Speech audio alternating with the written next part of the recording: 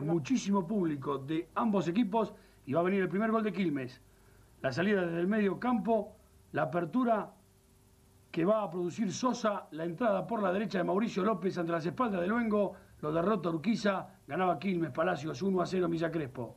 Se iba a poner Quilmes 2 a 0, una jugada que iban a hacer en la mitad de la cancha, con un arranque desde los inicios, eh, mejor Quilmes, Olbois que estaba un poco estático, no tomaba algunas marcas, con una línea de fondo diferente. Arranca nuevamente Vivas, como siempre, por derecha, todos los domingos decimos lo mismo.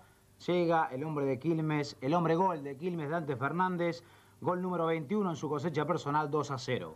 Segundo tiempo, el Boy sale con todo y va a aparecer Lovera, que había ingresado en el segundo tiempo. Ahí la pelea el jugador Carrasco, Lovera, Colombo que le comete falta. ¿Fue falta? ¿Fue penal Álvarez de Toledo? Hay un mínimo empujón. Me pregunto si en la mitad de la cancha eso se sancionaría. Jorge Viliano dio penal, le va a pegar el torpedo Sáez. En el arco Merlo, muy buena definición y se ponía el Boys a tiro del empate, 2 a 1.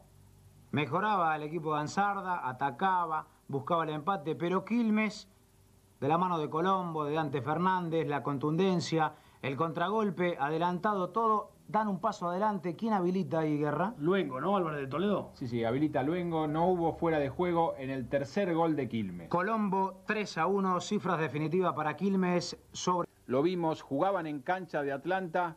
El tiro libre para el cervecero, la pelota va a venir cambiada hacia la derecha. Y quien entra por el medio, Colombo. Con la manito, como lo señalan los jugadores de All Boys, Vigliano que lo detecta. Anula el tanto y amonesta al infractor. Correcto, el juez estas jugadas deben ser sancionadas, porque si no, qué injusticia y además qué papelón para el árbitro. Pero a veces, a veces se pasan de largo.